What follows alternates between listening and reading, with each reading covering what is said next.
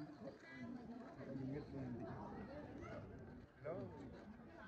Ang ngit mo yung pag-up niya.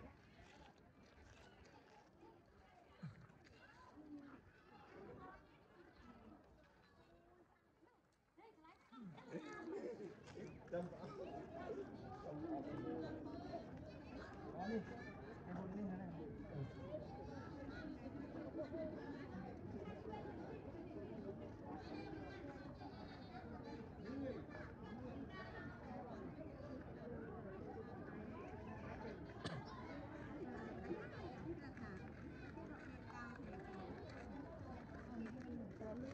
cute.